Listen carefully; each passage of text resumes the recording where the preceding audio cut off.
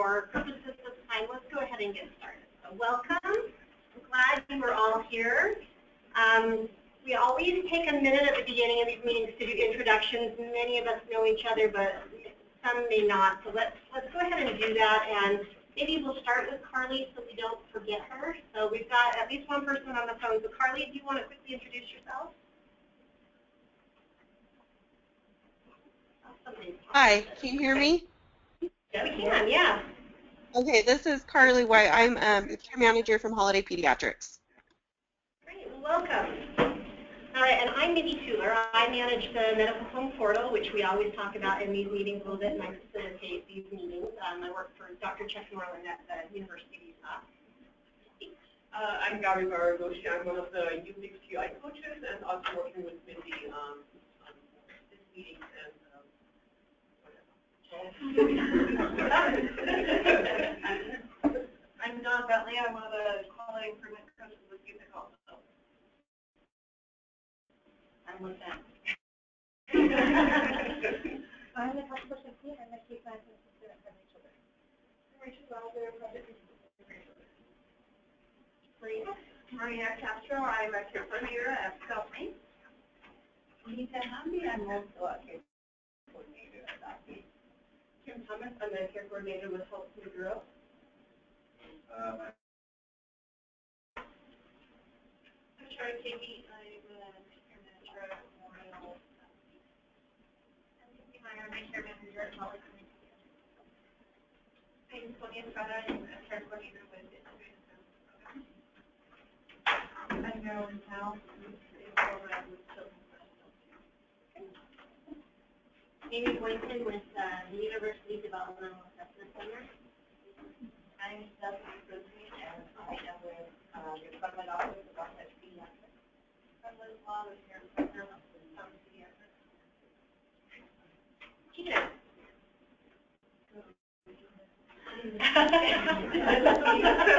Been.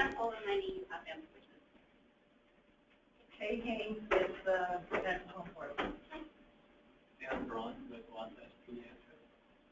I'm Jenna Delworth, care coordinator at Wasatch Pediatrics and Parents And Eric Christensen with Integrated Services at Bureau of Children's Special Opportunities. Baker, yeah, also the Baker. Very good. All right, well, welcome everyone. Um, so the next part of our meeting, we always do um, a little bit of time to allow you to, to talk about any of the cases that you're struggling a little bit with. Maybe you would like some input from um, the others in the room about resources that could help families you're working with right now. Um, anything that's, you know, you're, you're persistently having a problem uh, locating, accessing, those kinds of things. It doesn't have to be like a full-fledged case. It can be, um, I, I never can figure out what to do about this kind of thing. So if you've got any of those kind of barriers or hurdles that you're, you're um, with, if you had uh, a case resolution or you found a great resource, this is also a terrific time to share that information with the rest of us because um, that's really what this group is intended to be, is a resource to all of you so that you can utilize the knowledge. Um, this is your time, so if there's anyone who has something um, they'd like to bring up, that would be great. Yeah. I know that um, this has come up before, and um, I'm not sure if we ever got information on resources on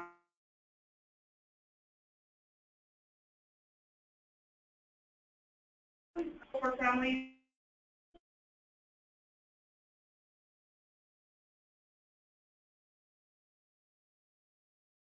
Beautiful.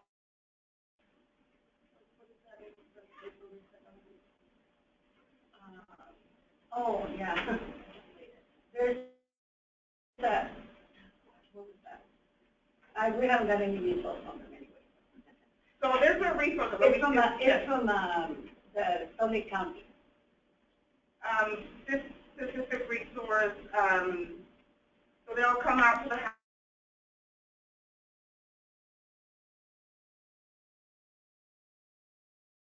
Depending on.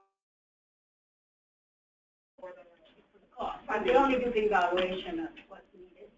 That's all they do. They don't, they don't do the modification. That's for the vehicle or for that home? Oh, Okay. Is?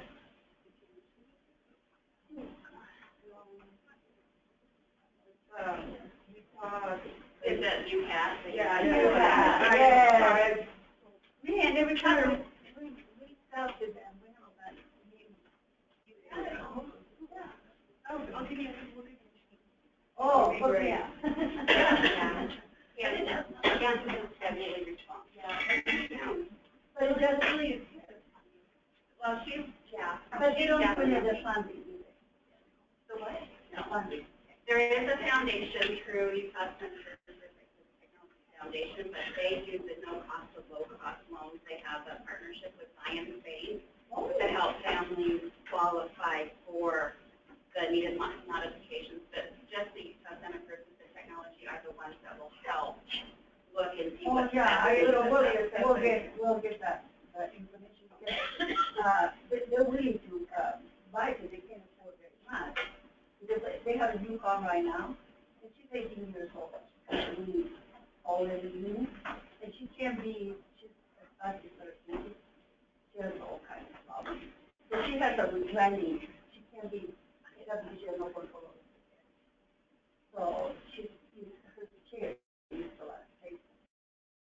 And the car, so one to the, um, say anything with the Obama people. So they have to stay home.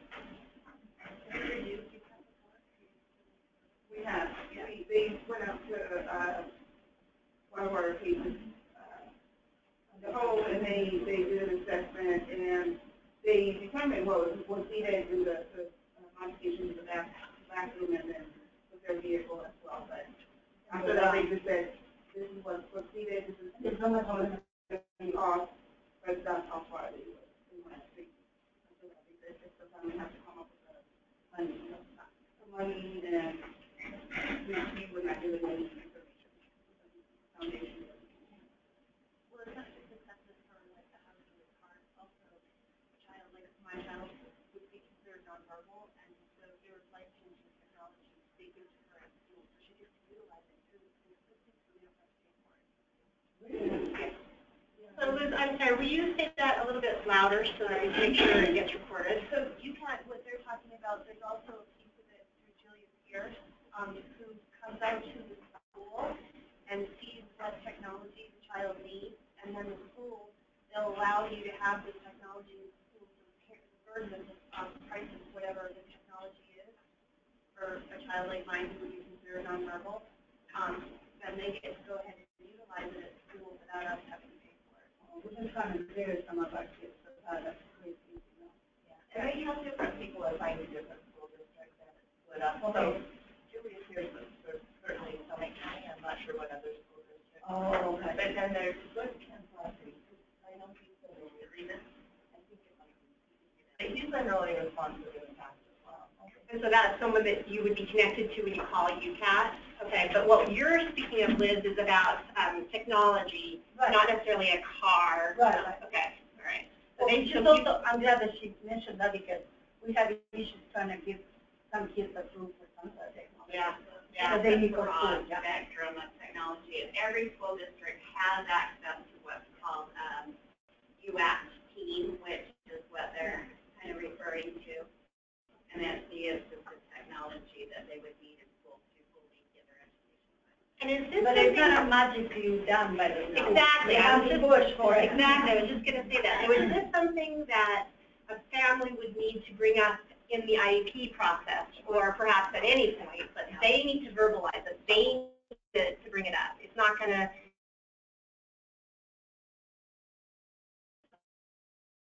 Probably true. Um, You know, they just don't know that it's available. I didn't know it was available until she, so. So I'll, I'll I'll tell you guys, um, we've been, we're right in the middle of, uh, what's called a usability study of the medical portal, having families who have children with special health needs come in and, um, actually have a little test, and it's all recorded and questions are asked and, and so forth. And I got to see a couple of these yesterday, and one of the moms, um, who came in was right in the middle of, um, trying to figure out school decisions for one of her children. And she was like, what I'm not seeing on the portal is who you call and what, what the process is and what the steps are. And she was, it, you could tell she was just really frustrated. It would be so great, wouldn't it, if there was an algorithm out there that said, okay, you're in the Canyon School District. These are the bodies that you need to contact. If this one doesn't know what to do, then contact this one. Wouldn't it be super helpful? Yeah, I don't know how possible that is, but maybe we can work on getting something of a framework in, in there. Because I think this comes up all the time. There are, there are things, right, that are available if you know the right words. If you say it at the right time, the the right right person. Oh, okay. Well, that's super helpful. Um, coming back really quickly though to the vehicle modification, um, is it the Utah Assistive Technology Foundation that um, Gino's mentioning? Okay. Um, and I would assume that maybe there are other foundations that do help monetarily that might be applicable. And okay. Um, we haven't found very many that will actually do, um, well, okay, backtrack.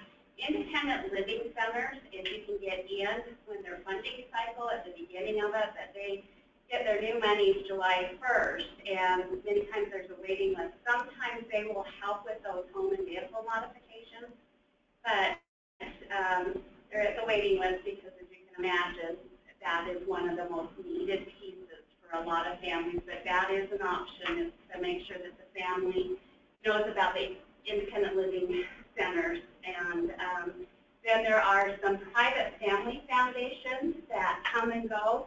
And um, we just recently found a, a list of some of those granting foundations that we're, re- we're right now going through and vetting them, and then I will send them over to make sure they're all in the portal, and then maybe even do one list, because it's so, that's one of the things is we find that we may list them, but unless they're like specifically that says this helps with that, it's too hard to navigate through everything Right. with out there.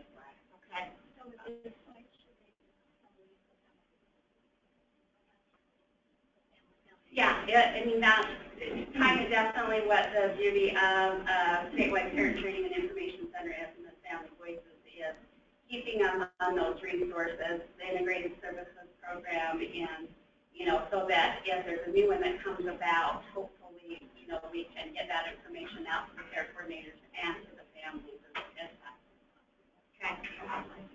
So hopefully that, that makes sense, that, um, we've got a couple specific ones that we can point out in our email that'll go out, um, including contacting the independent living centers and, um, the Utah Assistive Technology Foundation in terms of the funding piece and then UCAT for the actual modifications and the physical part of that.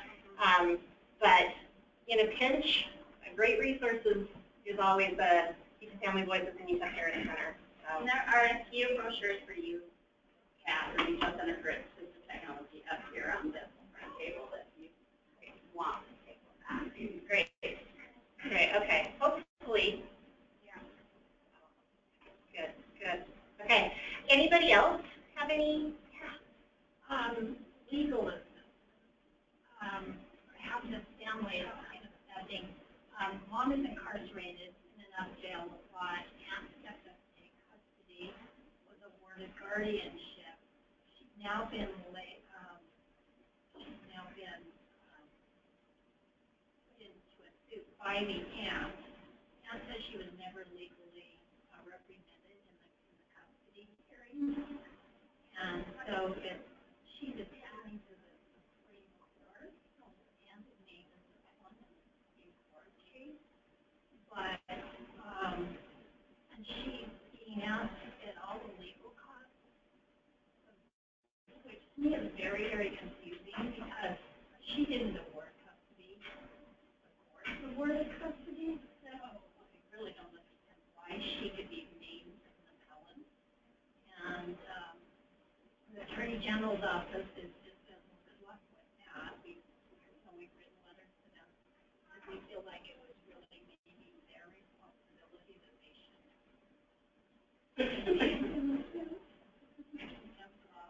A little bit, it does- definitely Well, sounds. custody cases are so, very wide, so much wide. There's so many different varieties of. So, um, anyway, they're just happy to do, um, crisis on their own. There's no support from the attorney's office or anything like that. Um, and it's very, very expensive. And again, beyond the prison. Um, so, so the aunt is trying yeah. to. Yeah. She has custody. She has custody. She has been named in this suit. That custody was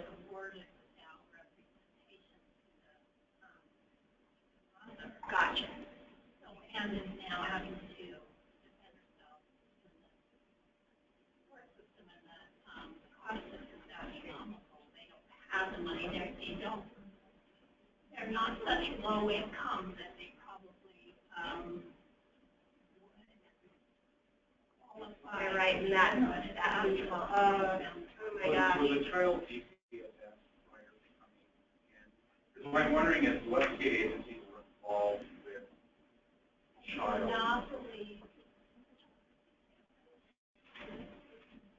You just wonder who, who was in that decision-making process? make a Award. decision whether a worthy applicant. To me, that's, that's the person that should be.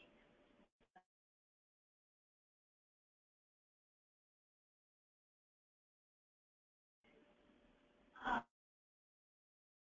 Yeah, so you,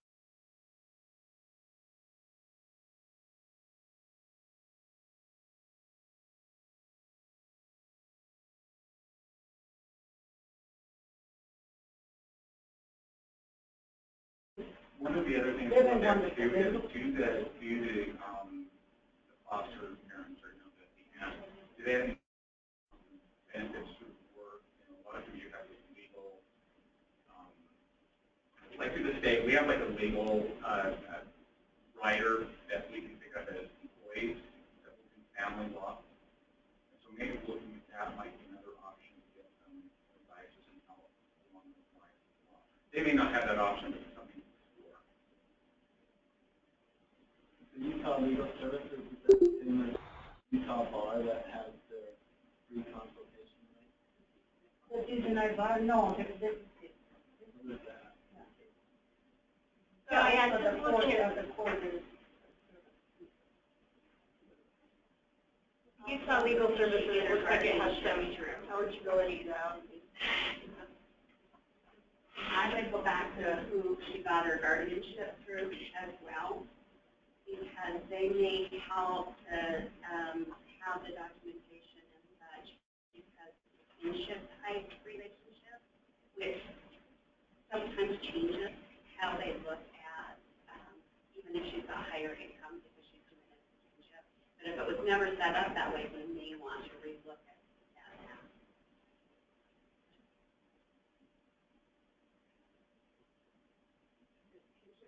Grandfather program like also be able to do that? Grandfamily?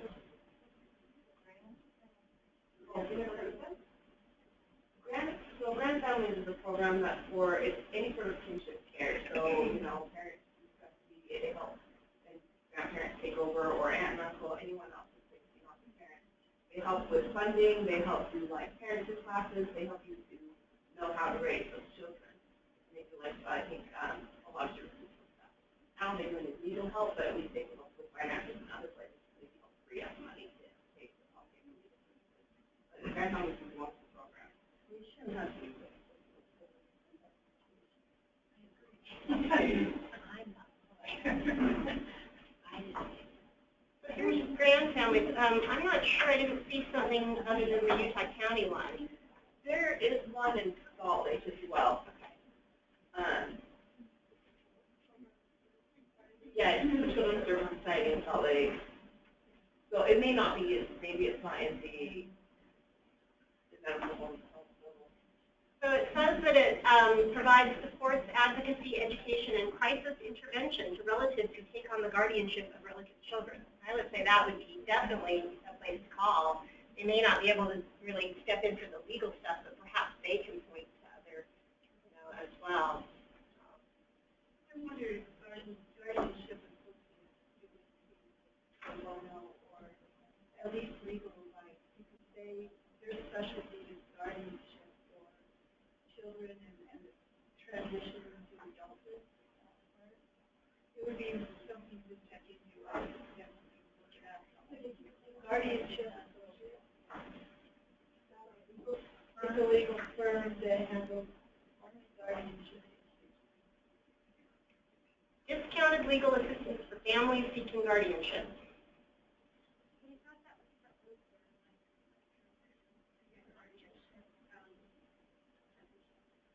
That's, that's their specialty, but I don't know. So basically, unless they got their guardianship through them, they probably wouldn't weigh in on any legal matters. Um, Because we have them come, we have them coming for some treatment soon, but, um, so that would be if by some chance they help get me guardianship, that would be where you'd want to get some of that information.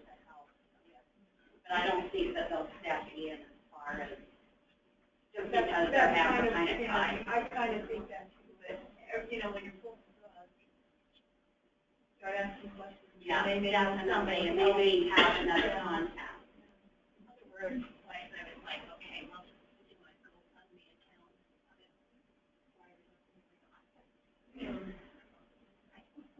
And, and tell us a little bit about the child. Um, eighteen months old little girl. Oh, she, no, no, um,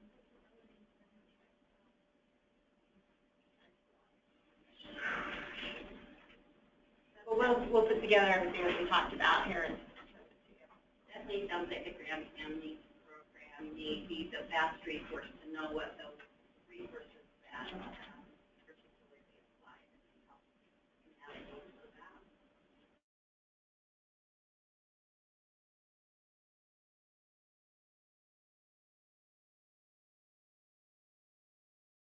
that. resources you've come across or heard about. We, I wanted to um, let you know about a couple of new things with Medical Home Portal. So um, one thing, I think we sent this out in one of our recent resources um, of the month emails. Um, we, we, we sent it out in some sort of um, email to you guys. Uh, so in our for physicians and professionals section, we have a new section called um, feeding and nutrition. More pages are going to be added to this um, in the very near future. And but this one, formulas, is one that um, a lot of work has gone into and continues to go into. And some of the most um, potentially useful parts of this page are a little, they're not uh, so easily, easily seen right off the bat, but they're these charts that show the major brands of formula and key differences in their ingredients. So if you're working with families who are struggling with eating issues and looking to formula and trying to figure out, you know, what, which one's going to work for their child based on what they do know, um, these are great charts. So one of our um, uh, one of our pediatricians who works for the, with the portal um, has gone through and really done a very careful look at these and is um, working to keep up on them. So um, uh, hopefully a resource that will be um, useful and valuable to you guys. Um, we also have a new part of this particular section of the portal um, that's about to be launched that um, will talk about common healthcare issues for children with special healthcare needs. So these things will include stuff like sleep issues, eating issues, constipation, toilet training, those kinds of things. And so um, I think toilet training is on deck to be one of our first published pages. And again, these are looking at um, issues that are specific to children with special health training. I know that's a big, wide swath, but it's not about toilet training for kind of your average three-year-old or, or something like that. So um, hopefully those will be um, helpful as well. Um, many of those pages already exist in the Medical Home Portal. They're just not easily found. You have to search for them. Um, they're kind of connected through other content pages that we would expect you to see first. So this is our attempt at pulling them out so you'll be able to find them easily. So we're excited about that.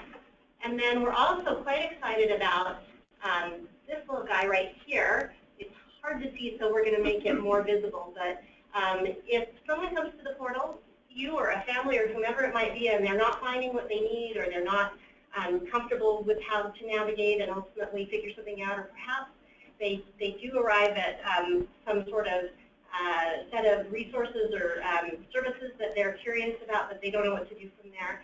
Um, they can click on our Get Help page, and here you can see there's a telephone number and an email address that actually connects to our integrated services team. Uh, so during regular business hours, you might be able to get someone right away on the phone or get an email returned quite quickly. Um, otherwise, it would probably be the following day or the following business day. But um, they're, they're set up to be able to help folks navigate the portal and ultimately get connected to, you know, the kinds of services and supports that they need. So that's in place, and we want to encourage folks to, to do that. Um, certainly, we would anticipate that this might be um, used more by people who don't have care coordination and a medical home that they're experiencing, but it's available for anyone. So, wanted to make those things um, uh, known. I will pop back to our our PowerPoint, and now we're going to switch to our next section. And so we're excited. Um, I think probably you all saw that we're going to talk a little bit about how to implement some processes um, in, in, a, in a practice in an organization. Uh, and then we're going to have some folks who've done this already or in the process of doing it come up and, and talk to us a little bit about their experiences. But before we do that, I wanted to um, step back just a little bit and kind of remind us about um, kind of what the pillars of the care coordination process are. And, um, and these greatly simplify what care coordination in the medical home are. But they are definitely kind of those things in which all that other really important stuff happens. And that is that, of course, you've got to identify um, those needs and assess them before you can really begin to act and, and help that family. And then, of course, there's the, the need to create a formal care plan that has those goals in it, those identified um, problems, all of the, the history that's important and relevant, um, and then certainly implementing that care plan. And many of you are doing all of these kinds of things already to one degree or another, in one way or another, whether it's really formalized, documented, or if it's happening a little bit more ad hoc, but um, that, that implementing is really where we connect those families to those needed referrals and resources. And then ultimately, need to evaluate what we've done, right, to make sure that we've done something that's useful and helpful and is having the desired um, outcomes, and then make changes if that's, if that's um, uh, what needs to take place at that point.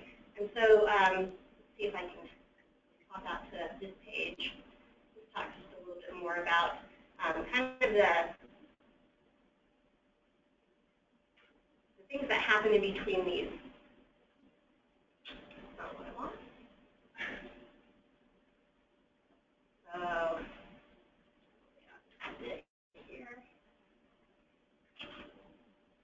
So, assessing and identifying needs.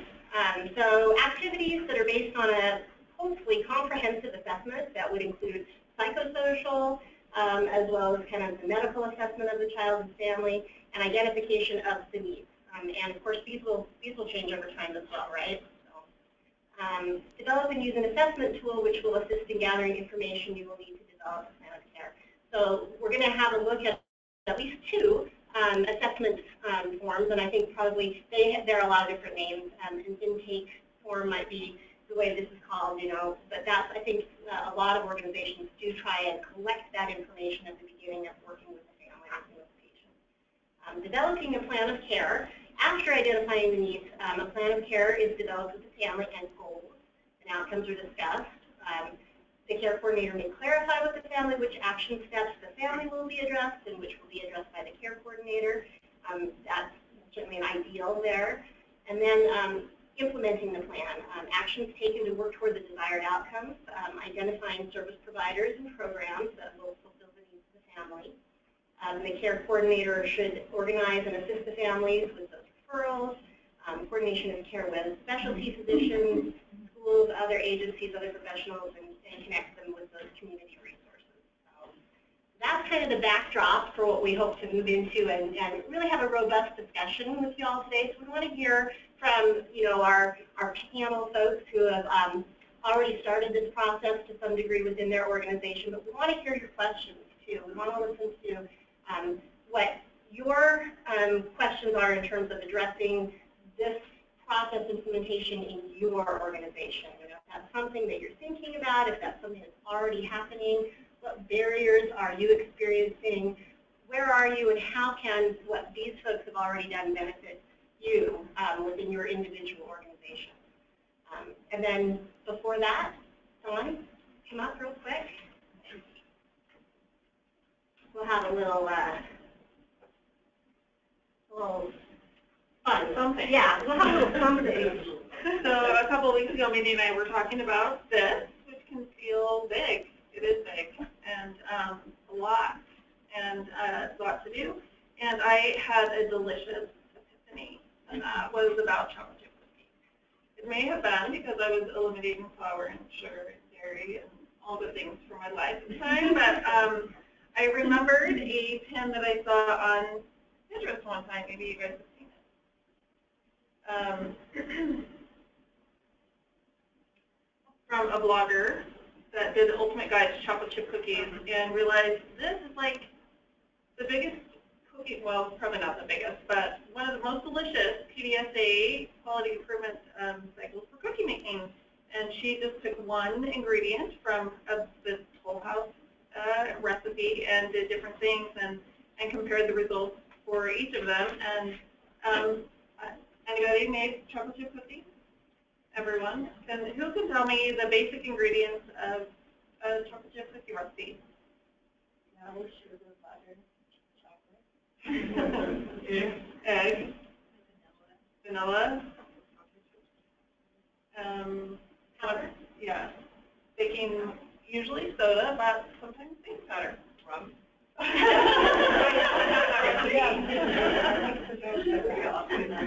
Oh, that'll, that'll three that I know. And um, also, likewise, in um, care plan and care coordination, what are some basic ingredients of those? Mindy talked about some. Gotta assess the needs. How to to assess to the needs, needs. In a care plan, what are you doing with the family and the patient? Team. Establishing the team, Defining goals. defining goals um, with this as a team.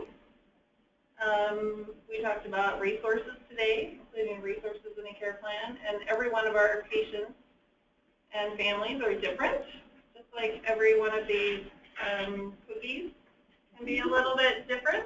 And um, and she, this blogger actually, she did this thing, this chocolate chip cookie thing, four different times with um, different questions and things that people came to. And so her initial thing was just changing the basic ingredients a little bit um, to get a different result. And she did it again with actually changing ingredients. And you can see she has the control cookie and then did different things with different flours, um, extra egg yolks, some she did shortening instead of butter, adapting for different dietary needs. For she did the shortening one for someone who is um, not on dairy, somebody with an egg allergy. She actually did a flax egg instead, and um, did gluten-free cookies, whole wheat cookies. And then she also used um, different um, techniques and equipment. She used different pans. She used um, different things with the butter and um, with uh, different results with, you know, varying things. And I thought about different patients that I've worked with and families that had different insurance plans. So the resources are different. Some have um, different, you know, abilities. Some are overwhelmed. Some need less. Some need more. Some want more. And um, so, so anyways, and then likewise, I thought I, I thought it was interesting when I looked for this lady's blog. There was also NPR covered the same story and talks about the science behind baking your ideal chocolate chip cookie. And we have a lot of science and best practices that guide our care coordination and um, care planning for our families. And then also I saw that um, the Huffington Post titled their article, The Magic Formula. And um, the more we do them, the more we kind of figure out what some magic ingredients and great resources and things to share with our patients and families to get the results that, uh, that is good for everybody. So The magic, like knowing that the independent living center's funding cycle starts July that 1st. is, that is big. Magic, right? That is magic. So this is where uh, some magic can, can happen. So, and I'm really grateful that, um, we have some bakers who brought you some chocolate chip cookies. I don't know if they used the, the Toll House, um, control recipe or if they had a special recipe that they used, but thank you for the people who brought to share. So did, let's there, there, okay, so maybe we'll pass those around or, or encourage people to feel free to get up and have a chocolate chip cookie in the spirit of, yeah, so this is really interesting. I like the idea of having some kind of way of documenting what a, what a basic family experience would be, right? So, and I don't know that that exists, but maybe there could be a series of kind of go-to organizations when you, you know, and I know Gina would know uh, what these might be, but, and then there could be variations that get drawn, pulled from that, depending on what the family is experiencing and where they are with things. So having a way to document that, I don't know. Cool. Well, and and having lots of options to change things. For one family, one thing might be perfect at one time, but not the right thing at another time. Right, like, yeah. It's a challenge though to keep it all straight and keep it up to date, um, and easily accessible. A little more challenging than baking a really good chocolate chip cookie probably, but a nice analogy nonetheless, I think, so. A tasty analogy for sure. Okay. All right. Okay, so we're going to ask our panelists to come up now. And um, uh, we'll talk a little bit about their experiences with um, really doing assessments and their and then care plans um, uh, in their organization. So we've got four chairs. Let's grab two more. How many do you need? I don't know. I think we need probably six. Maybe, maybe. And I can grab um, one or two from back here too. I'll just grab one. Okay. Okay. Super. Come on up, guys. Jenna? Jenna? Yeah, I can hear you good.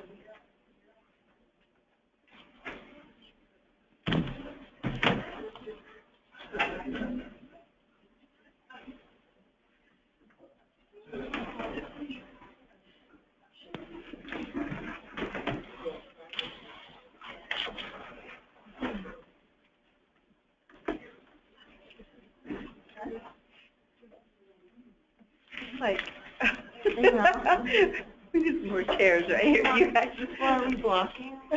I don't know. I don't know that we have anything to put in there. There's an extra one down here too. Oh, I'll grab that.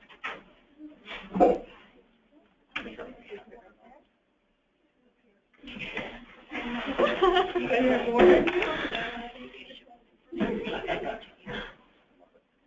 Great. Okay, great. So hopefully, let's see, I think, um, Noemi, um, and maybe even, let's do a quick introduction. I'm not sure everybody got introduced at the beginning, or maybe they didn't see you because we were in the back. So, um, Jenna, do you want to go ahead and start? Sure. I'm Jenna Dilworth. I'm a care coordinator at Wasatch Pediatrics at St. Mark's office. And I'm Dusty Frisbee, I'm the care coordinator at, um, the Summit Wasatch office. I'm Jenna Robinson. I'm the care coordinator at Wasatch South Point. I'm Noemi Gay, and I'm a care coordinator at Willow Creek Pediatrics. I'm Marilyn Howe, I'm the care coordinator with Integrated Services Children's Special Health Care Needs Program. I'm Tony Estrada, I'm care coordinator at Children with Special Health Care Needs Integrated Services Program. And I'm Eric Christensen. I um, program manager for Integrated Services, Children with Special Health Care Needs. We're part of Utah Department of Health. Okay, so I, uh, Jenna Robinson, um, graciously um, sent me a couple of forms that she's actually either been working with or is intending Yes. to put into um, practice, uh, literally, uh, this year, I think is the Yeah, the goal. my goal Okay. this year. Okay, so I'll, I'll go ahead and put those behind, and then um, I have some integrated services forms as well. So these will be not necessarily something that we have to go through line by line, but perhaps they'll be of interest um, to you. I'm sorry, I know that it's probably going to be a little tough to get a great um, idea of what they say, but um, Wow, that was terrible. That's a lot of, Oh, I'm so sorry. I turned it into a PDF to plunk in as an image, and, okay. Foreign language. Yeah. Okay. that's probably not super helpful. I know, I know. Like, Those wow, characters these really are- close. Hmm. My PowerPoint looks awful, you guys. Maybe I'll pull up these um, forms uh, from GoToMeeting. So why don't you go ahead, um, Jenna, if you wouldn't mind, because your um, experience has been thus far to ha- have an assessment form that you were using. Right. So that's been in in the works. You've been using that. Um, maybe talk a little bit about how that's gone. Okay. And then what um, prompted you to start working on a form that was more specific to you know, care planning and different from the assessment and all that. Okay. So, um, the assessment that she showed is like the third or fourth version of the assessment plan that I, or the care assessment that I started with. And I adapted a lot from the Boston Children's Hospital, like, care assessment, um, that they were going through. And basically, like, it started because I was going into rooms and saying to patients, like, so what can I help you with? And, um, like families who are in crisis or, you know, like the, the patient is sick or something, uh, I was not getting a lot of feedback. So I wanted to take kind of a more pre, um, preventative type approach instead of going in and like reacting to whatever the family was saying. So I started to develop a form that I could use so I could actually like find out some background on the patient before I went in and then confirm that background and make sure that everything was correct and then have just kind of like an easier way for me to say, hey, have you, you know, looked into DSPD? Have you done this? Have you done that? And then I can, from that form, kind of like summarize things that the family might need, develop a follow-up plan, and then scan it into the chart or so that the docs can see, you know, what it is we talked about. So um, a lot of the top part, like the, um, especially like the ER visits, the early intervention, things like that, and on the side, all the specialists, um, I've developed a registry for my, you know, MedHome Tier 3 patients, so the kids who have like chronic needs, and so I check that first. And on the registry, I have like all of the specialists that they see, the upcoming specialist appointments that they have, and I just start to fill it in on the side there. Um, if I've seen that they're coming in and it's probably a follow-up from like an ER visit or a specialist, I make sure I check the note for that specialist. And that helps me like see what's been going on, and then I can summarize that in like a little task for the doc and send it to the doc, especially if that note is not like in the EMR, so that I know that the doc hasn't seen it yet. Um, and then I confirm when I go in the room those specialist appointments with the family. And I found that's been really helpful for a lot of our patients who are seeing multiple specialists. I can say, hey, I have that you have, like, you know, like these three upcoming appointments. Like, do you need anything from us for that? And that's kind of how I approach it. Not like, this is a reminder for you, but like, do you need anything from us? Can I help you with that? Do you need coordination with those? And they're pretty, like, receptive to that. And then when I go in the room, um, I just kind of, like, ask, my first question is, like, is there anything causing you stress right now, or what can I help you with, you know, at this moment, like, what's your biggest stressor? And a lot of times they'll say, oh, nothing, you know, or I dig a little deeper and then I find out, oh, there's this, like, really big underlying thing, and I can go through and just start to, like, check off. So I put on this, these are, like, the most common things that I help my patients with. So a checkbox is a lot easier for me than writing that out every single time. And then the follow-up plan on the bottom, I basically take their needs from that checkbox and put what I'm going to do, and then I put the date next to it. And then when everything is done, I scan it into the chart. So I have like a folder with all of these like assessments in there, so I can go through and check and say, oh, I really need to like follow up on that. And then in our EMR, we have like a whole task system. It's really easy for me to create a task from this follow-up plan to then like make sure that I'm following through or assign it to somebody who might be able to better help, you know, an MA or a doc or, or somebody else. And then I take all of this and my um, my plan or my goal for 2016 is to create like chronic care plans for the kids who are frequent flyers, who have, you know, those really like unmanaged chronic conditions or who are just like their families really need help managing those conditions. So my background, I was a special education teacher for a while. Um, so I kind of approach this as like an IEP for the medical side of our kids. So I went through and um, I created like a Word uh, form. So I can literally just like fill in all of this without messing up any format. And I don't have to worry about like, I'm notorious for like saving over things and then having to go back. So this is just like a, a template so I can just click on it and I don't have to worry about saving over anything that I've previously um, written. But the, the top part, of course, is just their demographics. And then we miss a lot. There's educational information. So I pull that from the care assessment that I do so I can know, hey, this is the contact information for this school. I coordinate a lot with schools. I would love to coordinate more. So hopefully this will help me coordinate more with schools, get a person to contact, let them know what's going on at school. Um, then at the, in the middle, um, I like to know the challenges that the parents might be facing with that with that child. Sorry if I call them a student. Um, with that child, as well as like what might actually be those challenges for that child, so that it kind of helps tailor the rest of the plan. If you know they're having behavioral challenges, you're not going to make a goal for them to like, you know, I don't know, like, I don't know it's blown my head. But you're not going to make a goal that doesn't address those behavior challenges. Um, and then in the middle, any equipment needs, this helps me coordinate better with like home health. It also helps me know what they might be bringing with them into the appointment so we can be prepared for that. And then the special clinical accommodations is actually a project I'm working on with the parent partner at my clinic. We're trying to make things a little more atmospheric friendly for some of our kids who have um, chronic health conditions, especially sensory needs.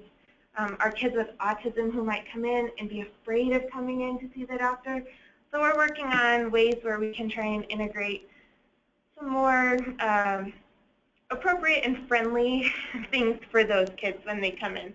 So that's kind of like our our little project right there. And then um, this is where it gets more into like the, the clinical side of things. So on here, I'm not going to put that they have an ear infection or that they have strep throat unless it's like chronic.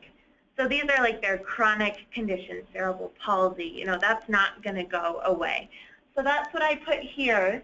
And then the ICD-10 code just helps me when I'm filling out orders and paperwork and everything. I don't have to keep looking in the chart for it. And then on the bot, so this middle part is where really I'm, this is my goal this year. So this, this treatment, the clinical goals, trying to coordinate with specialists. So I can read the specialist note and see their follow-up plan and be like, okay, so our goal for this kiddo is to get them into braces and get them, you know, like better able to ambulate around. But that's not me coordinating with the specialist. That's me reading their note and figuring that out. So I want to find a way to better coordinate with specialists so that we can all come up with a goal together and getting everybody on the same, like in the same room uh, at the same time. That's impossible. So that's kind of my like plan for this next year is to try and figure out a really like um, easy, easy is the only word that's coming to mind, way for us to get clinical goals in place across the board. And I mean, I can I can talk to the pediatrician and get their clinical goals and what they're you know what they're wanting to do, but there's so with these chronic care kids, there's so many specialists and so many needs that it's hard for me to know of a way to do that. So I have a follow-up date here. So if the clinical goal, if they're trying to get, let's say, braces for them to walk, and the specialist or care provider responsible was really important to me so that I'm not trying to work on things that other people are also working on. And then the follow-up date is just if they have an appointment with that specialist in the next couple months, you know, or if I have a personal project that I'm working on from my follow-up plan that relates to one of their clinical goals, that's where I would put that date so that I know they need this by this time. And then medications so that we can check them, allergies, um, and then any recent labs that they might have done. And I actually added this after we had that like big meeting here because I, I didn't think it was important. but come to find out, like it is important. If specialists are ordering labs and we're ordering the same labs, we don't need the parents going twice to the same place. So um, this is really, I found important. And on this, there's like, I have drop-down lists and I don't know, can we, does it show in the, yeah, so I have like drop-down lists to choose from. Wow. Um, there's a lot like of things and, and ways to type in. So I made it very like friendly so that I don't have to like spend a lot of time Wow. typing in. So it took a lot of time to create this, but now I can just go in and click on it for every single one, and I don't have to like go through. So where it says like click to enter text, I have to click to enter, but like there's there's a lot of things embedded in the document that I don't have to go through and, you know, like spend a lot of time writing it. And then the last page is just their care team. So, like if you choose an item from PCP, I have all of our docs at our office listed under there. Wow. And then um, the rest, like their fax, I don't, so I just had their phone number and then I was, I was like, this is not as helpful to me as having their fax number, so I added a column for their fax. So that's really important. And the bottom, just the home nursing or respite care, that's just a note for me to know, like, yes, they have it, so that I don't have to go about trying to get them it. Um, and then I haven't implemented the physician signature or the family signature, but my goal for this is for those kiddos with chronic care conditions to sit down with the family. So I go in, usually while they're waiting for the doc to come in, sit down with the family and like review this. Whether it's their well visit, we see them, you know, once a year, just say, hey, and then they have something they can take with them to their specialists or whatever. So this has not been rolled out my practice-wide. I've only done it for a handful of kids. Um, but once I got a form in place, it was a lot easier for me to plug in the information that I already had and that I was assessing as they were coming in. So, You print a hard copy before you go to the family and then Yeah. you there, then you go to the and So- update it. hmm I've done it with one patient so far.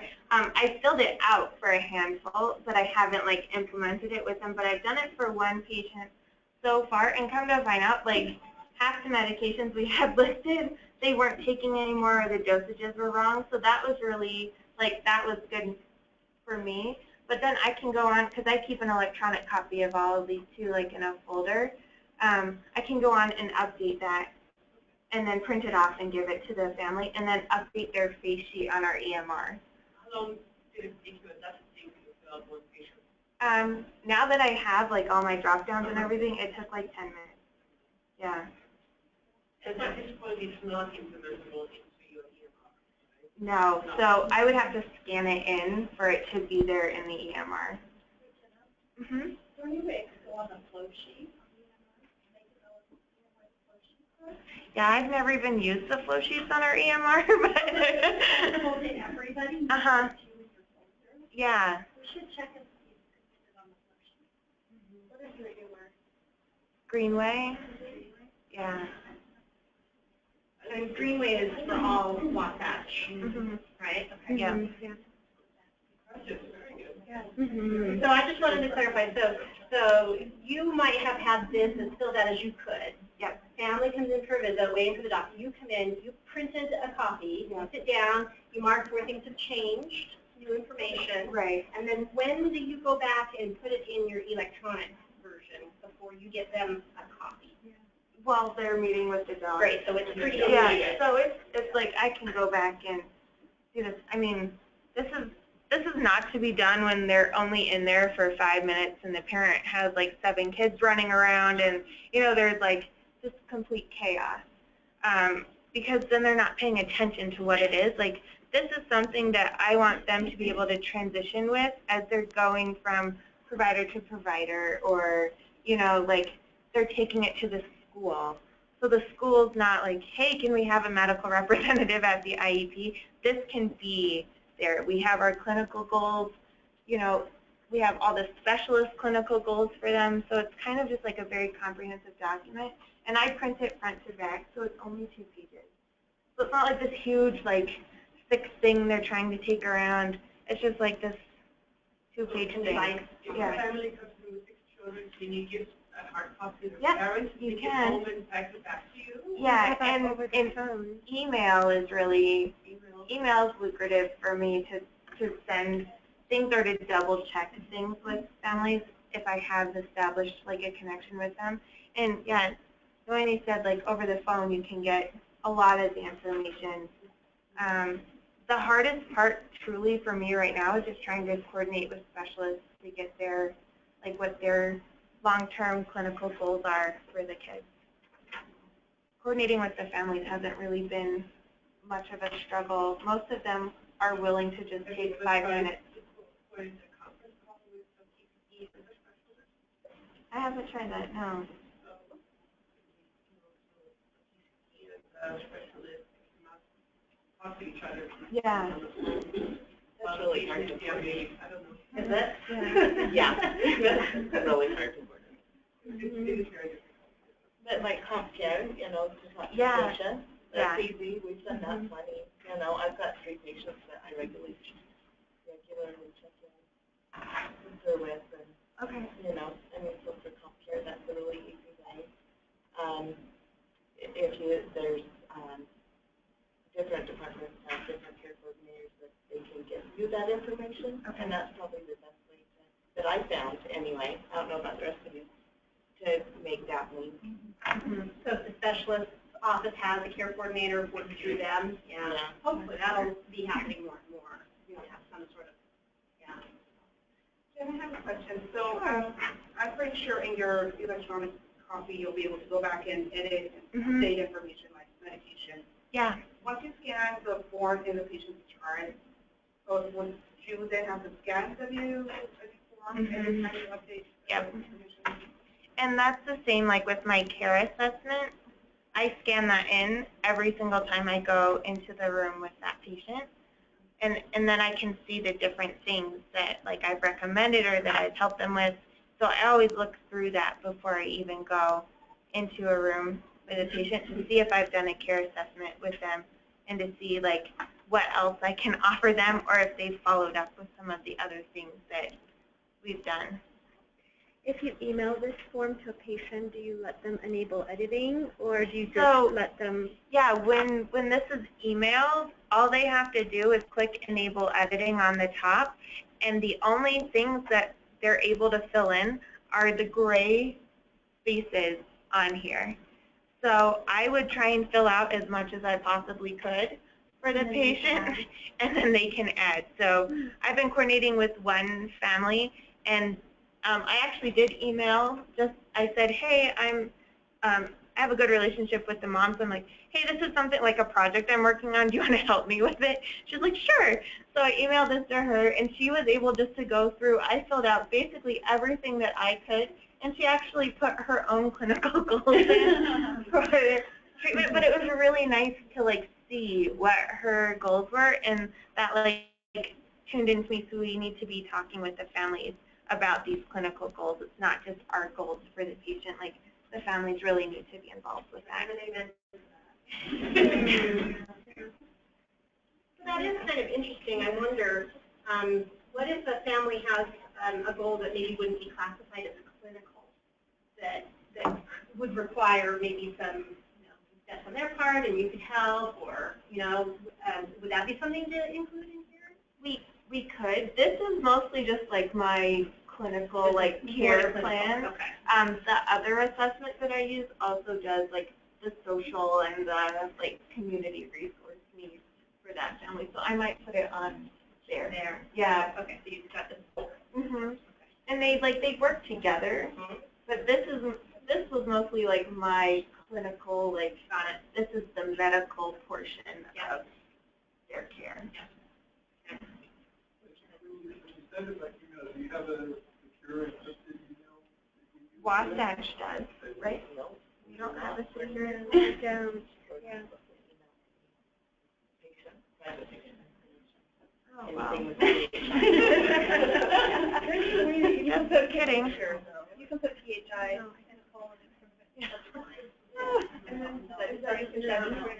Are we really, Why does it say on the yeah, are we really not supposed to? I believe that's within, you're sending email within an uh, email system, once it crosses over, I think I'll let her off.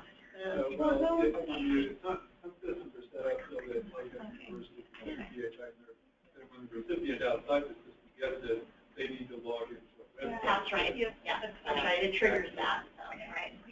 So, um, like As my a house. disclaimer, I haven't emailed anything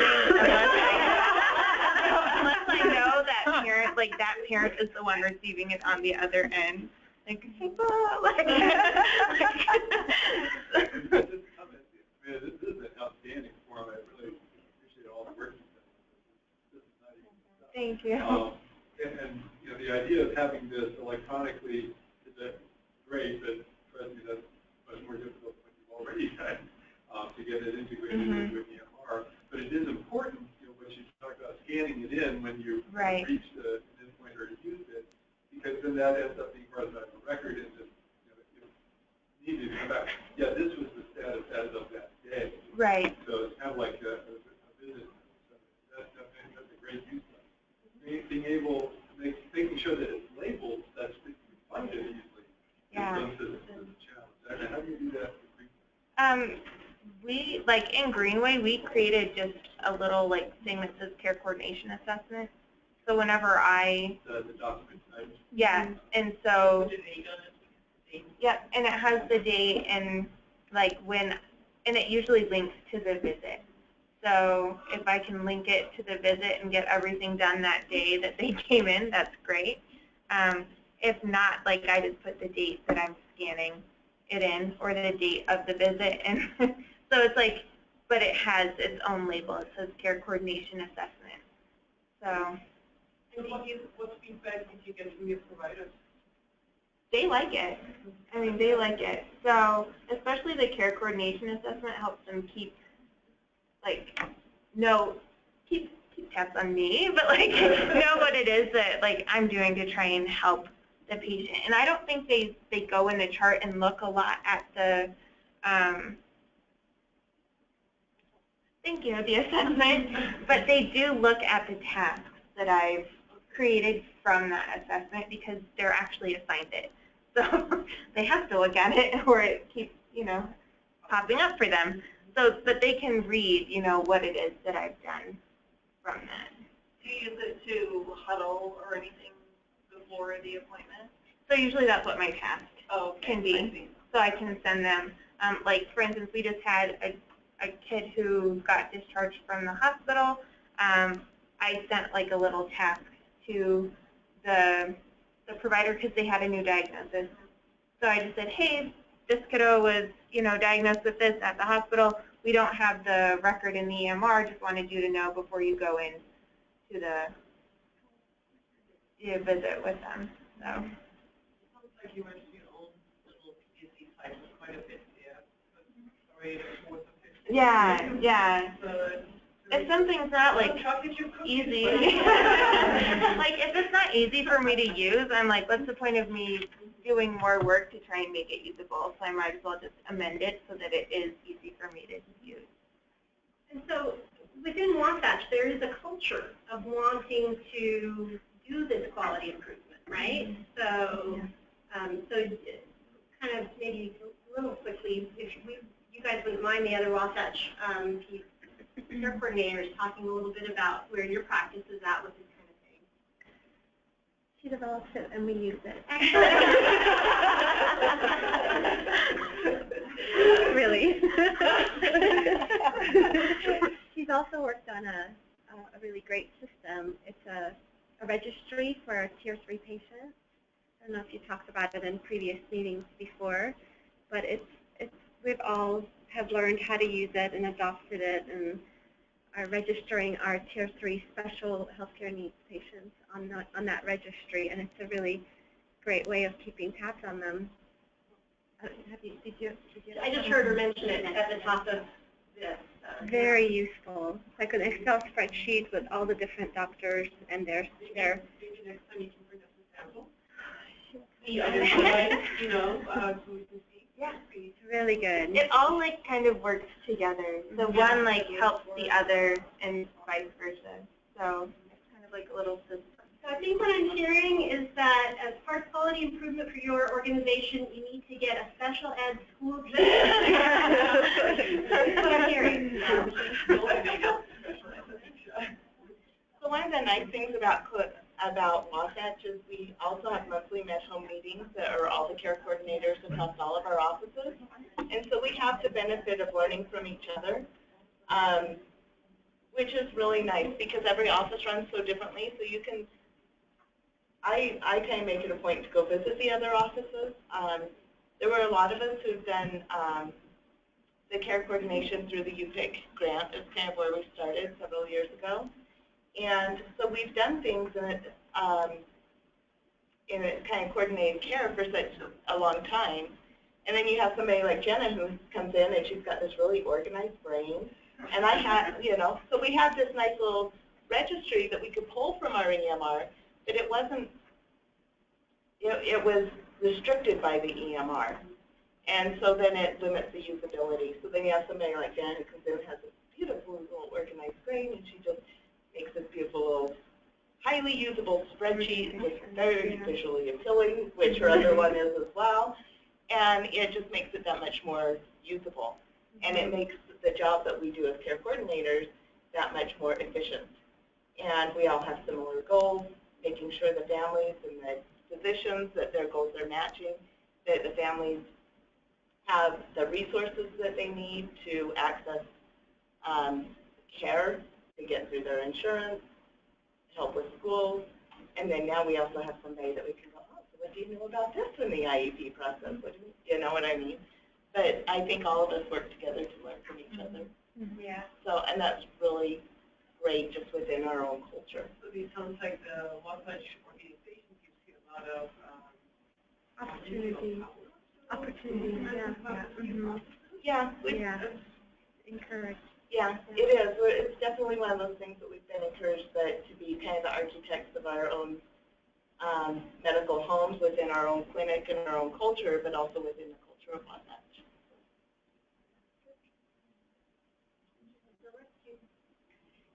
So our our office is still fairly new at trying to get on board with the whole medical home thing. So it's been kind of nice to have these kind of things that I can take back to my doctors who haven't quite caught the vision of what medical home is. So having these kinds of things and working together as a team within Wasatch has been nice that I can go back and have these wonderful forms of things already in place that I can go and take and be like, okay, so this is what we're doing, this is what we need to do. And it's been helpful for them to kind of understand, I guess, the uh, the need for it and what what we are doing is helpful to their patients. So Has there been a little pushback, or, I mean, maybe that's the wrong word, but not, not embracing with open arms? Um, it has been with a few of our doctors. I just think that they're they're kind of set in their ways. They're a little they've been practicing for a longer time, so they're kind of set in their ways and just haven't quite understood what the vision is of this. So having these kinds of things helped with that. And you know, with the little things we have done, I mean, they have come back and reported and said, oh, that's been helpful. You know, I like it when you call our patients to find out what's going on before their appointment, so then they know what they're going into. So we're slowly getting there, but it's nice to have, you know, these clinics that are a little bit farther along, so then that way if I do have questions to report back, then I can rely on them and they help me out with that too. So I think what I heard there is that little steps, Yeah. little tweaks, little get the, you get the buy-in. Um, right. Well, if they're not on board with it, Right. then, it- it's pointless to do, And I think you're making the right steps if you tell them why we need it. right, You know, so, because how gotta do that, not why yeah. Perfect. So that's where we're at, so it's nice that they're kind of a little farther along, so when we do get to that point, everything's already in place for us. Yeah. So I'm going to throw the ball over to integrated services, and I have your um, forms as well. So why don't, if you guys want to start talking, I'll put the intake form.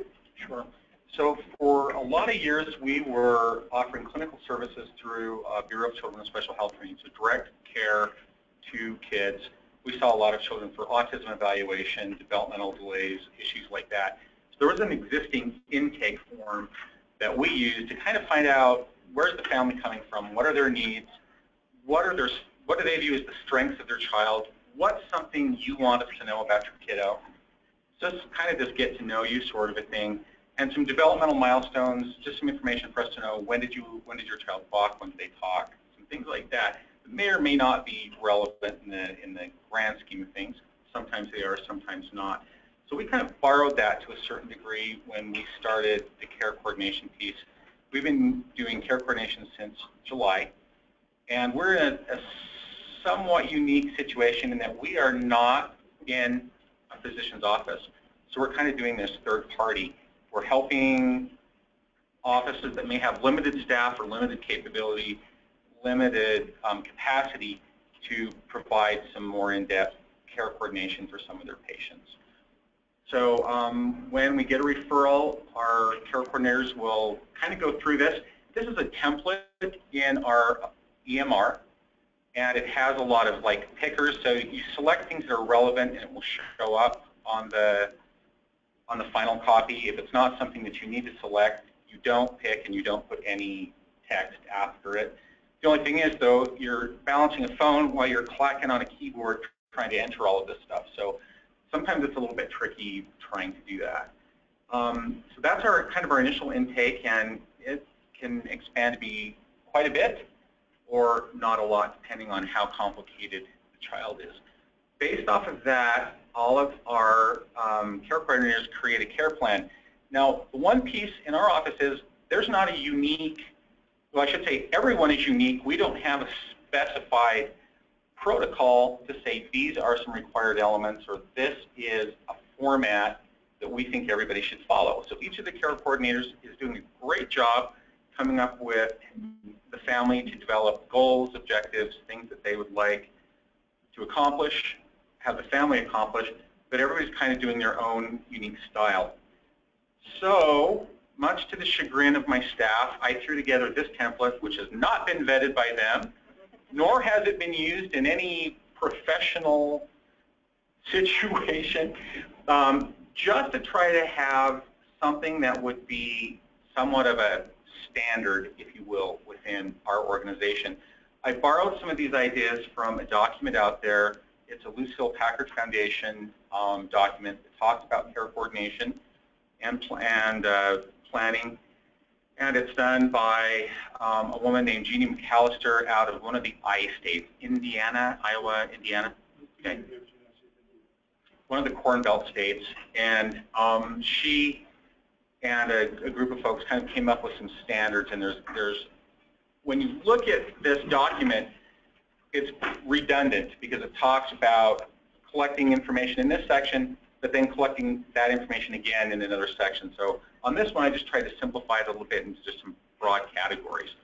So what the goal would be for our team this year is to try to work on having some sort of a format that is somewhat standard with categories that are standard. The ultimate goal is, um, as we look towards the ability to share this information electronically among disparate EMRs, so amongst various specialists and other providers who would be sharing the information, sometimes you need to be able to have categories that are somewhat standard so that when you query the system, you can look for word patterns and display that information and share that information among various systems. Um, big difference between data fields in a database where you go in and you can query and you can, you know, you have five values and you can, you know, select from those five values versus a text field which historically had been rather unqueryable. A text field was a text field. But now with some of this word matching technology and, and patterns that it can look for, that then becomes a little bit more queryable. So in the immediate, that's not as important, but down the road, it may be an important piece to have. And so we thought we'd try to move in that direction so that we have those categorical pieces in place as the technology advances. So um, these plans are available to our families through um, the patient portal. They can log into our uh, EMR and families can pull that information that uh, the care plan, anything that's been an assessment that we've done, so they have a history of all of those documents. Families can also upload documents into the system, so if they need a storage place for items, they can scan attachments into the system. They can also go into that medical record and they can update medications and other, you know, other providers, other, other problems, things like that. On our end, they show up as green when we take a peek and the family's edited. And once we accept that information, that can then feed into the care plan. And so some of the pieces, like patient procedures, patient problems, patient allergies, those are macros. They pull straight out of the EMR. So if we have correct and updated information in there, um, then when we pull up a new care plan, all of that stuff just dumps over from the EMR um, right into this form. A lot of the rest of these are just kind of fill out as you go type pieces. And it certainly is not pretty to look at like that gorgeous document that you created. So um, our, our, our, word processing capabilities on this thing are a little bit limited. Um, bolding doesn't happen so much, and you know, just some things to really make it stand out. It's a very limited word processor within the system. So visually, um, I don't love it, but it's kind of within the capabilities of our EMR at the moment. Um, it's a local group. It's called CADURX, C-A-D-U-R-X, and uh, the state, always in the quest to get more bang for their buck, um, low bid and all the rest of it, um, went with this group. But the nice thing about it was because we are a multidisciplinary group, they were able to tail. We're a multidisciplinary group, so they were able to tailor the EMR to meet some of our unique needs of having multiple specialists seen by a child on one day. So it wasn't just one provider, one encounter. It was multiple providers, multiple encounters for one child. So they were able to specialize some things for us. And you said they've been pretty open to requests, or? Well, back in the days when we were giving them a lot of money, yes. Um, we've not we've not really asked them for a lot of tweakage lately, but if we needed to move in that direction, then you know we could fund some of those changes. I'm sure they would they would listen. They've always been really good to work with us in the past. So within Wasatch, it sounds like you've got the support from the overall organization, but has that moved into the IT realm yet and the money realm at all? The idea of trying to get some of these forms that work more naturally with, with Greenway? Well, I've um, taken one of the the first form that Jenna showed and started to develop a template off of that. But that was, I mean, it takes a while to get that developed where it's fully usable. Off the first one with yeah, off the yeah, so care planning that has the follow-up, not the assessment. But it takes it takes a bit to kind of get everything. I don't know where it ugly. needs to be. And it's hard. Yeah, well, it's like Greenway. ugly and hard to use. Yeah. Greenway is the same kind of thing for us um, when we were giving a lot of money. They were making a few changes, whatever. But now within Prime Suite, the parent company Greenway, um, there's a pediatric users group. It's actually a fairly large group, and that's a you know it's a national company. So I think the pediatric users group is getting some work done. But to have our form put into a like Greenway template or something, we're gonna have to make that work. So, yeah, I'm sure that the IT and EMR kind of hurdles exist for pretty much every, every organization. And I'm kind of curious to know from, from the rest of you, what kind of support would you think that you might have within your organization to start moving in some of these directions? Because this, this requires time on your end, uh, maybe a lot of time, at least at the beginning. Um, and it also, what's that? And it requires, it requires a team, it requires support, and it requires, you know, the information that the forms are capturing to be disseminated, understood, acted upon, uh, and documented again. So it's not, yeah, I mean, it's, it can be great to be where they're like, go for it, but if others on that team aren't going to, you know, step up at the point in time where it's, it's their their action time, um, that's not going to work so well. So we're just really curious to know from others, know, what what are your experiences with trying to do more quality improvement and kind of formalizing these? Um, we are still just trying to get money. The- doctors are getting it, but the nurses are very resistant to it. Which seems odd, but that's what we're fighting right now. But now, whereas Mindy probably she's been doing this forever, so, but our office is a new, is a new thing just over the last year, so it's still, I can help with that. No, I'll just do it. No, really, let me, you know. So it sounds like that, you know, Indian and a lot of and she has the system in place, right? That's what that's going to mean, that offices. So if I can just give you some encouragement, when we first started this, we had a lot of pushback from, um, from our MA staff as well, because they're, they're very, um, good at what they do. They were used to doing a lot of things that, um, they were just used to doing everything. And I came in the, into the position from being an MA, and I, it, people felt like I was stepping on their toes. They'll come around. They will come They are coming around now. It's, yeah. And the more, that- the thing is, is the more specialized your knowledge becomes, the more you'll see that change happen. I feel for you. It's a hard place to be in. The other thing that we'd like to ask is, you know, how, how can we help with this?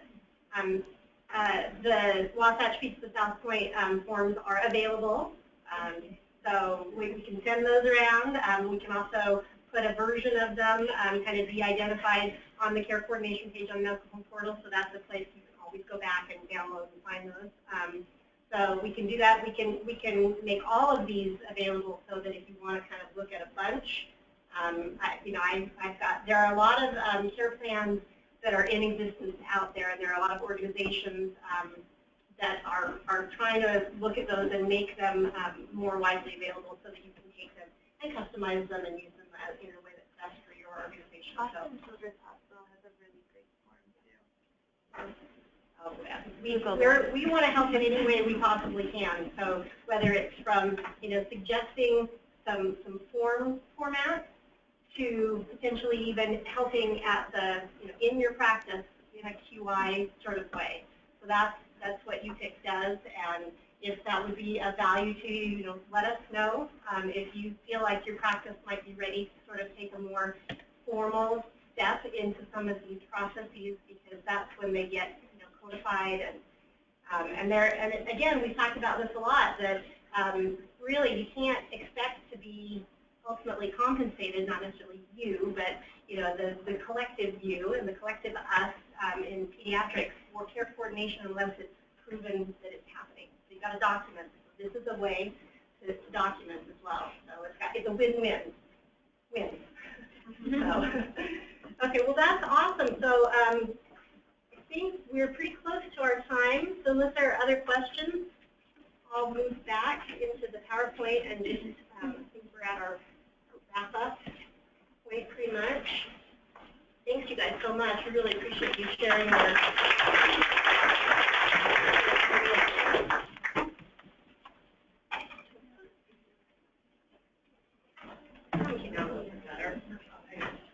So, you know, Gabby, do you have any quick words of wisdom? No, I mean, I'm just talking to Trina, said that I would like to actually go to your take a peek how, how she implemented the whole thing. Um, And again, you know, uh, as a QI specialist, you know, QI is what we do.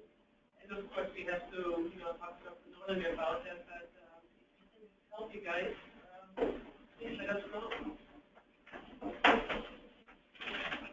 So I wanted to let you know, I wanted to follow up on something we talked about last month. Um, there's an organization that uh, contacted been in contact with University Health Plans about doing some case management related seminars that have some continuing education credits associated with them. There were three different uh, topics. One was kind of broad, um, case management, everything you wanted to know.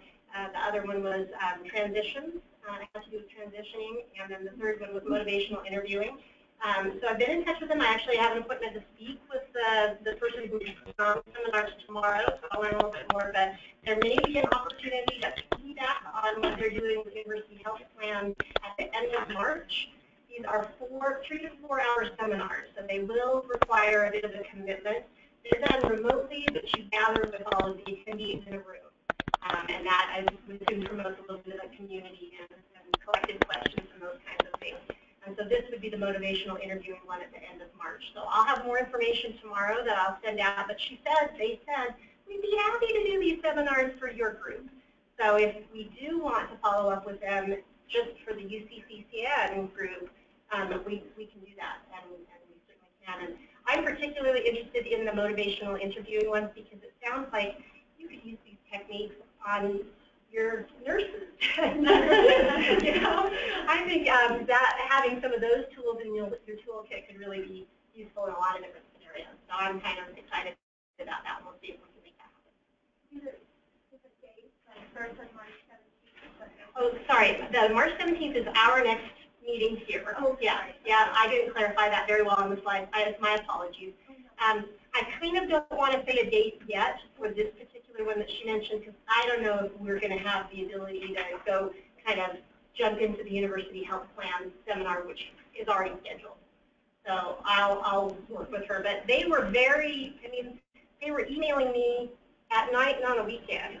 So I think these folks are responsive and would be very happy to put these on for us. And they're free, as far as I understand. So um, it'll more be a matter of you guys finding the time to come all on a day.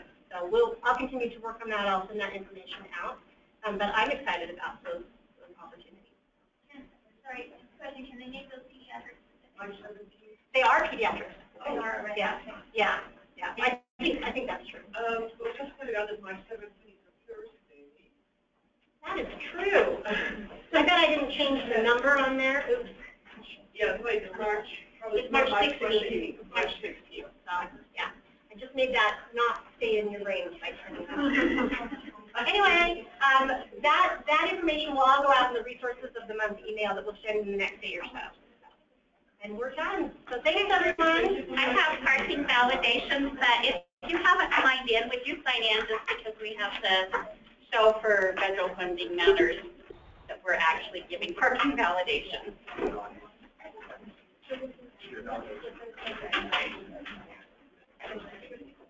validations?